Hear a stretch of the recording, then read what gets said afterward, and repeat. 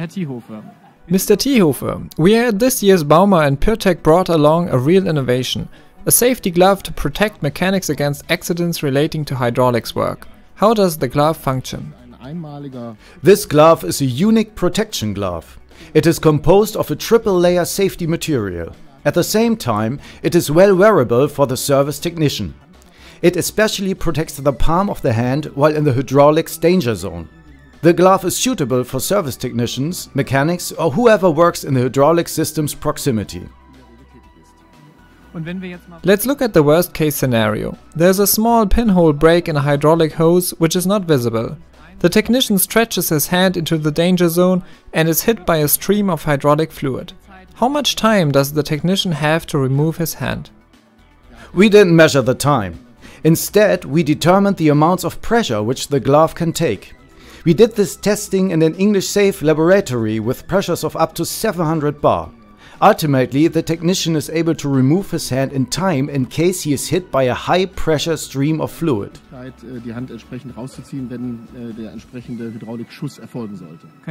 How frequent are these kinds of accidents in Europe?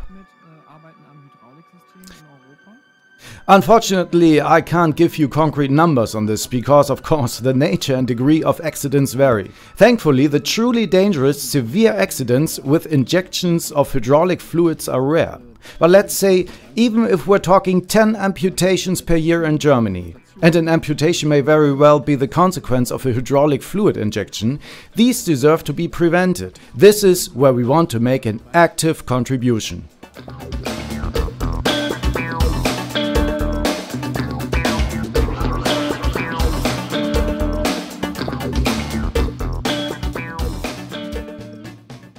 It has now been two days since you first showed the glove to the public at Bauma. How has the reception of the glove been since?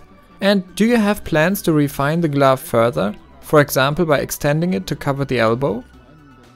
The response has been very positive. Not only our traditional customers are approaching us, but also many service technicians who are visiting the Bauma are interested and plan to introduce the glove to their seniors. All in all, a very positive feedback, which also extends to the fact that Pirtek has expanded beyond its traditional service business.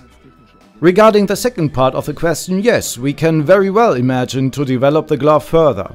We have received requests from user groups outside the traditional hydraulics business, like the fire brigade and relief organizations.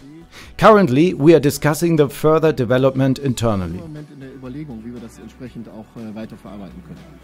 Besides the seriously dangerous fluid injections, the glove also saves from everyday injuries, for example from loose wiring. The glove protects the technician's arm when approaching the hose.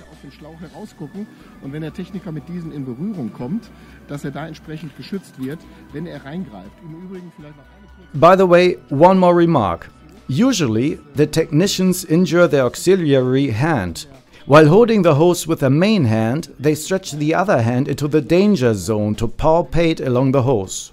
Nonetheless, we sell the gloves in pairs, of course. Mr. Thiehofe, thank you for the interview. Ja, herzlichen Dank fürs Gespräch.